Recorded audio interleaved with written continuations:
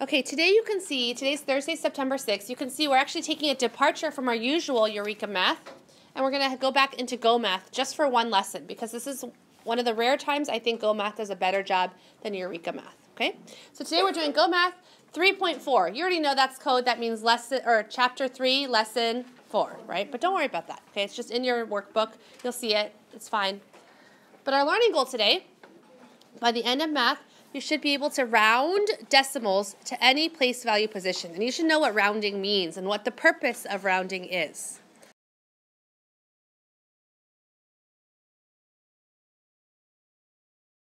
So in your workbook and on the screen, you can see it's telling you about the gold frog of South America. It's one of the smallest frogs in the world.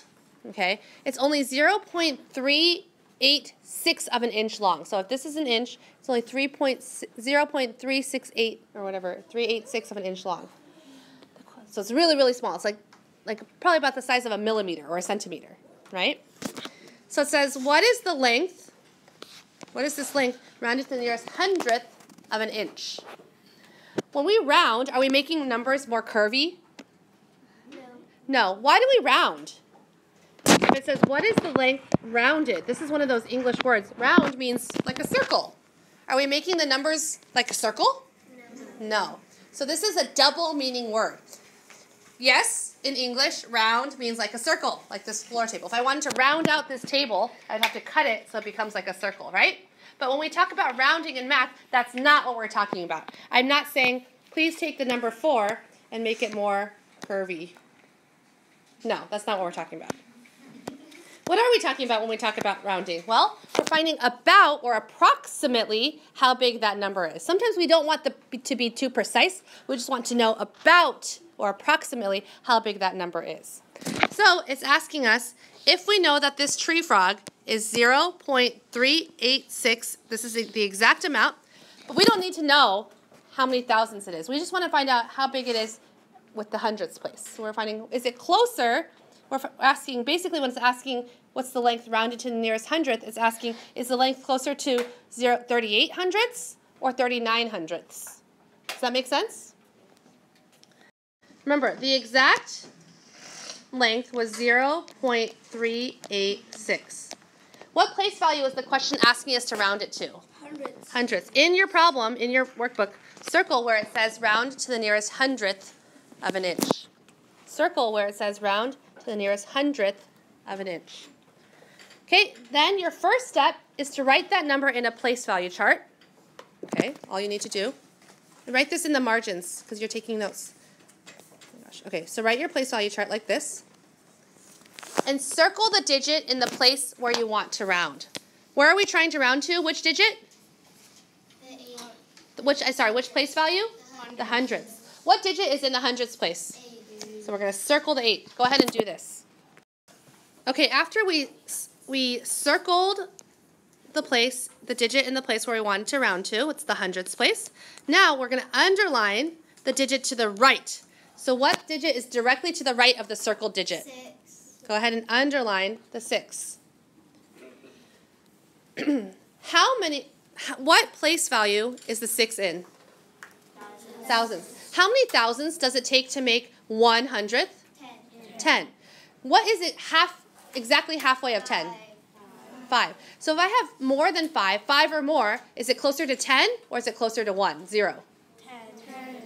So if the if the digit you underlined here, six, is less than ten, the digit to the place in the right stays the same. But if you if it's more than five or five or greater, the digit in the rounding place increases by one. So a 6 bigger than or less than 5? So that means is 0.386, is it closer to 38 hundredths or 39 hundredths? Very good.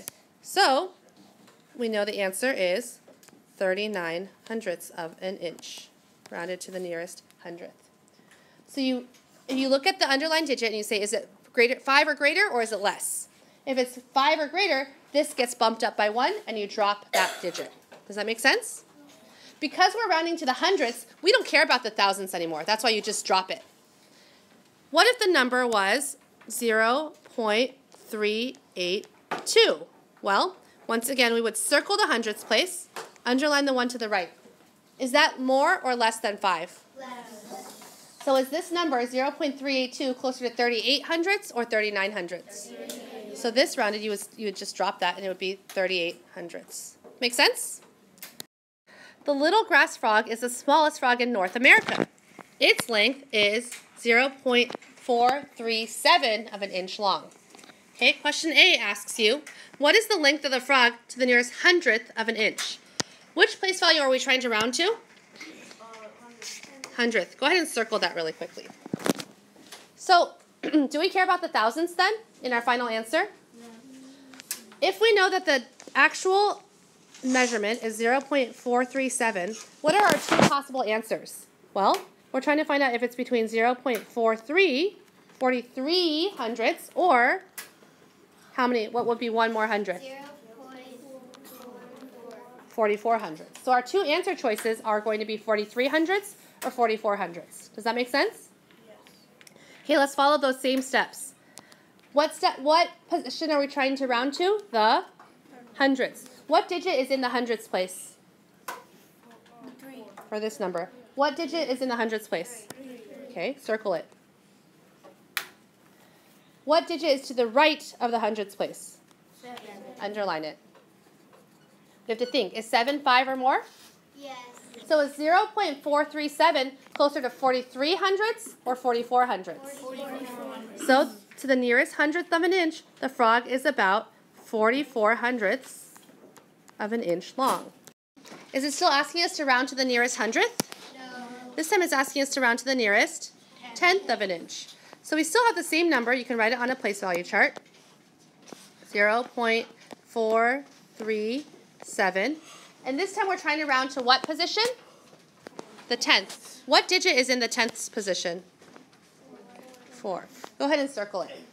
That means that our two answers will be either 0.4, you, you always, your first choice is always what you have, or what would your second choice be? 0.5. Okay, so your first answer choice is always going to be whatever digit is already in that position. Your second choice is going to be one more than that. Do you see that? Okay. And then what digit is directly to the right of the circled digit? Three. Go ahead and underline it. Is three five or more? No. So is zero is four hundred thirty-seven thousandths closer to four tenths or five tenths? Four tenths. So to the nearest tenth of an inch, the frog is about four tenths of an inch long.